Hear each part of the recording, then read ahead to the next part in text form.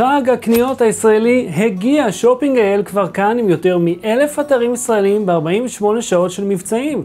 זו השנה השנייה שזאפ השוואת מחירים מציגה את המבצעים הטובים ביותר, והשנה יש בזאפ 7,000 מבצעים.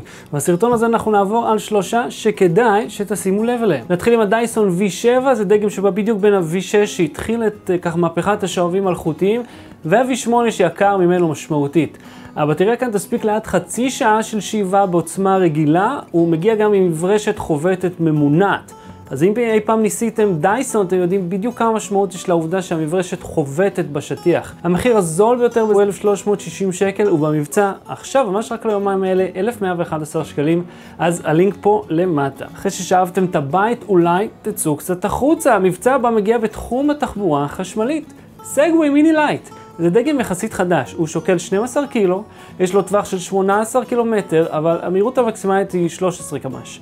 אה, שזה הרגיל, זה, בדרך, זה המהירות גם לדגם היקר ביותר במגוון הזה, אז קחו את זה בחשבון. המחיר הזול ביותר הוא 1,600 שקל, ועכשיו המחיר יורד ל-990 שקל. אז אם אתם מחפשים משהו בסגנון, עכשיו זה הזמן.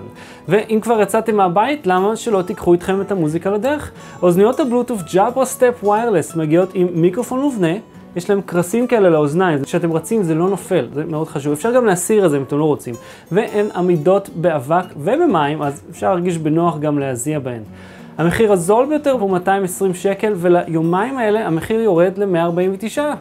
נחמד. זה רק חלק קטן מהמבצעים שיש בשבעה ובשמונה בנובמבר, אז לחצו על הלינק פה למטה ותוכלו לראות את זירת המבצעים של שופינג IL בשיתוף זאפ השוואת מחירים.